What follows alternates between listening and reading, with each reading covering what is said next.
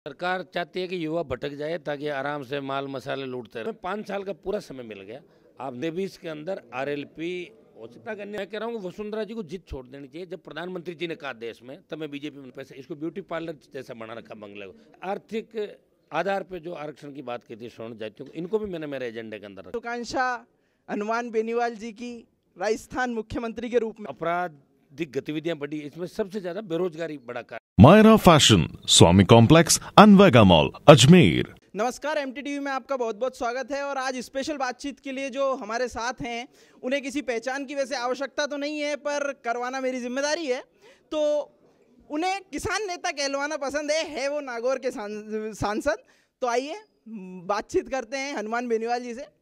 Sir मेरा पहला सवाल जो आपसे है कि आजकल यूनिवर्सिटीज़ में जो उत्पात मचा हुआ है, सरकार युवाओं की नब्ज नहीं पकड़ पा रही है या युवा भटक रहे हैं? क्योंकि आप खुद छात्र नीति राजनीति से आते हैं, इसलिए ये सवाल महत्वपूर्ण है आपसे पूछना सरकार चाहती है कि युवा भटक जाए ताकि आराम से माल मसाले लूटते रहे देश के अंदर। जहाँ भी सरकारें रही है, युवाओं को कोई रोज़गार का साधन नहीं, कोई नीति निर्देश, दिशा, दशा, इसके बारे में सरकारों ने विचार किया ही नहीं। तभी तो बेरोजगारी की समस्या बढ़ गई।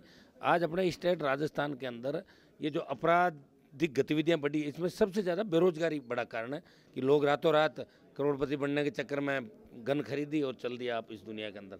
रोज़गार मिल नहीं रहा है। और चार लाख पद राजस्थान में खाली है। सरकारें युवाओं को झांसा ज़रूर देती है नहीं सर इ- इ- इसी पे मेरा दूसरा सवाल है आपसे कि आप किसान की बात तो बहुत जोरों शोरों से उठाते हैं और अच्छा भी है, होना भी चाहिए। पर मैं कह रहा हूँ कि मिडिल क्लास भी परेशान है, युवा भी परेशान है, पैंतालीस साल के चरम पर बेरोजगारी है, उसको हनुमान बेनीवाल जी की आवाज़ कब मिलेगी? मेरे तो युवाओं के लिए तो पूरी आवाज़ में उठाता हूँ, बेरोजगारी और जो पहले हमने हुकार रैलियाँ करी राजस्थान के अंदर, चाहे लोकसभा, विधानसभा, मेरे भाषण सुना करो। सबसे पहला युवा और किसान, ये दो, और मिडिल क्लास के लिए भी हमने बात करी। कि फ्री बिजली किसानों को मिलनी चाहिए। आधी रेट पे घरेलू उपभोक्ताओं को भी, मिडिल क्लास के लोगों को जो घरेलू उपभोक्ता है, उसको आधी दर पे बिजली मिलनी चाहिए। ये हमेशा मेरे प्रमुखता से रहे। और मैं तो तमाम जो स्टेट के मुद्दे थे ये आर्थिक आधार पे जो आरक्षण की बात की थी, स्वर्ण जातियों को, इनको भी मैंने मेरे एजेंडे के अंदर रखा था। सर, तीसरी बात ये कि जैसे कि अब आप बहुत बातचीत हमने यहाँ पे देखी थी कि आपने अभी छात्र संघ कार्यालय के उद्घाटन में कहा कि बंगला में खाली करवा लूँगा। तो सर बंगला आप खाली करवा लेंगे।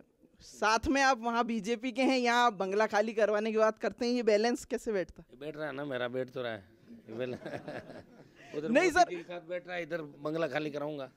बंगला खाली करवाने पे पूरे प्रतिबद्ध है। नहीं पर बंगला तो खाली इसलिए होना चाहिए सुप्रीम एक तरफ़ तो आप कह रहे हो अच्छा मैं कह रहा हूँ वसुंधरा जी को जिद छोड़ देनी चाहिए। जब प्रधानमंत्री जी ने कहा देश में, तब मैं बीजेपी में नहीं हुआ करता था कि लाल बत्ती कोई नहीं लगाएगा।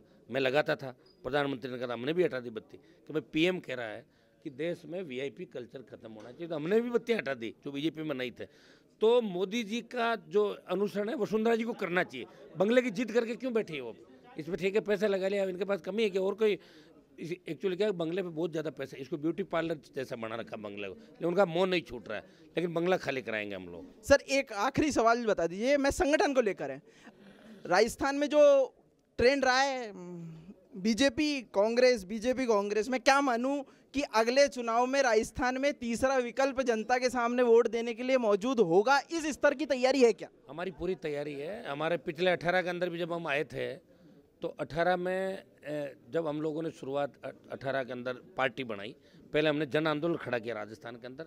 सत्ता के लिए हम नहीं घूम रहे थे, हम चाहते थे रोज़गार मिले, किसानों का कर्जा माफ़ हो, मुफ़्त बिजली, टोल मुक्त। आम आदमी के मुद्दों को मैंने लिया, टोल का मुद्दा मैंने ही उठाया था और स्टेट हाईवे टोल फ्री भी हुए। और उसके बाद हमने पार्टी बनाई। पार्टी बना के 19 दिन के अंदर चुनाव आ गए थे तो 19 दिन में चुनाव लड़े, साढ़े नौ, दस लाख वोट लिए। और लोकसभा के अंदर हमारे सामने ये था कि भाई किसके साथ जाएँ हम? दिल्ली के अंदर हमारा कोई हम स्टेट के लिए थर्ड फ्रंट की बात कर रहे थे।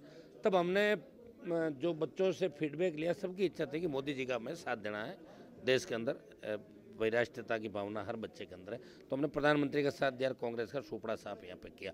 अब हमें पाँच साल का पूरा समय मिल गया। आप निश्चिंत हो जाओ, राजस्थान के अंदर कांग्रेस का तो पता ही नहीं चलेगा कहाँ गई कांग्रेस। तेईस के अंदर आरएलपी हो सकता है अन्य दलों से भी गठबंधन हो जाए। वैसे आप ये बताओ कि जो कांग्रेस की आंधी थी बीजेपी का विरोध था वो आंधी को हमने रोका। निन्यानवे में कांग्रेस आई और बीजेपी बढ़ी। ये हमारे संघर्ष का ही परिणाम था कि अट्ठाईस उनतीस एम पहली बार तीस साल बाद अलग अलग दलों से सर, सर एक सवाल ये कि जैसे संगठन जो है आपका पश्चिमी राजस्थान में मुझे काफ़ी अच्छी रैलियाँ दिखी थी आपकी जो रैलियाँ हुई थी हुकार रैली। बहुत ही उच्च स्तर की भीड़ थी। लेकिन क्या ये पश्चिमी राजस्थान के अलावा पूर्व में और अपने श्रीगंगानगर तक आप इसको संगठा, संगठन को किस तरह बढ़ा रहे हैं? संगठन की हमने भी टीम घोषित कर दी आपके। ये हमारे उपाध्यक्ष जी आपके अजमेर से जगदीश जी खड़े हैं, ये संजय जी को कुमाऊद प्रदेश मंत्री है, ये हमारे जिला अध्यक्ष होंगे। तो प्रत्येक, देखिए संगठन हम पूरे तरीके से, हमने पहली बार एसी का जो हमारा विधायक शेड्यूल कर, उसको प्रदेश अध्यक्ष बनाया। एसी के दो एमएलए जीता के मैं लाया राजस्थान के अंदर। सर एक आखिरी में पूछ लीजिए कि राजनीति में हर किसी की महत्वाकांक्षाएँ तो कुछ होती ही हैं कि कुछ पद मिले ताकि कार्य किया जा सके। तो क्या मैं मानूं कि अगली महत्वाकांक्षा हनुमान बेनीवाल जी की राजस्थान मुख्यमंत्री के रूप में है? ऐसे देखिए मैंने ऐसा कभी भी नहीं कहा। मैंने तो ये भी कहा था कि कोई किसान का बेटा अगर दूल्हा बनेगा तो मैं उसका बाराती भी बन जाऊँगा ये मेरे भाषण होते थे। इसलिए ऐसा कोई भी नहीं देखिए पॉलिटिक्स में महत्वाकांक्षा ज़रूर होती है लेकिन मंत्री पदों को हमेशा मैंने ठोकर मारी। मैं चाहता हूँ कि आम आदमी गाँव का गरीब आदमी अंतिम छोर पर बैठे व्यक्ति को भी न्याय मिले वो थाने तहसील कचहरी में जाए तो उसका सम्मान हो। अगर मुख्यमंत्री हनुमान बेनीवाल हो तो उसमें सहमत हैं कि नहीं? नहीं अभी कहाँ तो चुनाव कहाँ मुख्यमंत्री? इच्छाएँ जो होती है राजनीति उस पर सवाल है सर। अभी मेरी इच्छा है नहीं फ़िलहाल। बेनीवाल लगेगी तो बता दूँगा। ये थे हनुमान वेनुअल जी जिसने एम को इतना समय दिया उसके लिए बहुत बहुत आपका धन्यवाद।